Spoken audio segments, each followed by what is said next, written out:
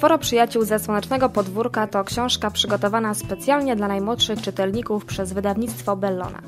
Składa się z czterech zabawnych, a zarazem pouczających historyjek.